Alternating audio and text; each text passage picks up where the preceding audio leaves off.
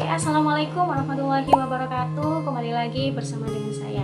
Oke, pada kesempatan kali ini saya akan membahas siapa saja sosok-sosok perempuan yang dibalik Sumpah Pemuda. Hari Sumpah Pemuda yang selalu diperingati pada tanggal 28 Oktober Kadang lewat begitu saja dan hanya sekedar seremonial.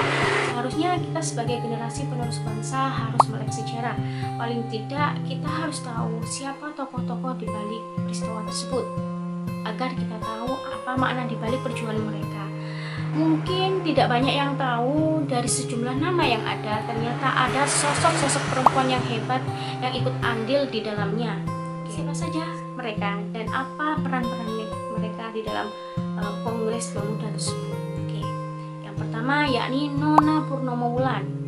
Beliau adalah seorang perempuan yang pertama menjadi pembicara di forum tersebut merupakan guru yang aktif di bidang pendidikan dan pembinaan pemuda dan ia juga aktif dalam Jongjapa. Yang kedua yakni Siti Sundari. Beliau adalah uh, perempuan yang berpidato dan menyampaikan bahwasanya menggunakan bahasa Belanda karena pada waktu itu beliau tidak mengerti bahasa Melayu. Tetapi dua bulan setelah adanya uh, Kongres Perempuan Nasional, beliau memilih menggunakan bahasa Indonesia karena setelah ditetapkan menjadi bahasa persatuan. Oke, yang ketiga yakni Johanna Masdani. Kala itu beliau usianya masih belia, yakni 18 tahun. Akan tetapi sosok perempuan ini uh, seorang perempuan yang tangguh dan hebat karena pada waktu usia pria itu sudah terlibat dalam perjuangan kemerdekaan. Oke, sehingga beliau uh, mendapatkan penghargaan dari Presiden Soeharto hingga Presiden B.J. Habibie. yakni ada beberapa uh, penghargaan yang beliau terima. Oke, yang pertama yakni medali Sewindu Angkatan Perang Republik Indonesia pada tahun 1953. Yang kedua bintang Satya Garuda pada tahun 1958. Selanjutnya bintang Satya Lencana Penegak pada tahun 1967 dan bintang Mahaputra Utama 1998 dan penghargaan lainnya.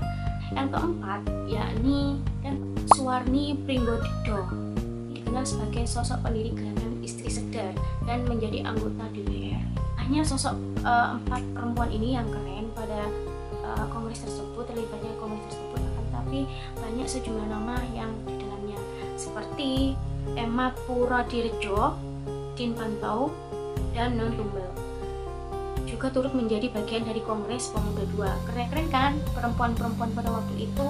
Semoga pada Hari Sumpah Pemuda ini tidak hanya menjadi seremonial belaka, tapi sudah saatnya kita sebagai generasi pemuda harus mengerti uh, makna dibalik perjuangan mereka sekaligus menerapkan nilai-nilai perjuangan itu ke dalam kehidupan sehari-hari kita dan jangan lupa subscribe, comment, like, and share oke okay?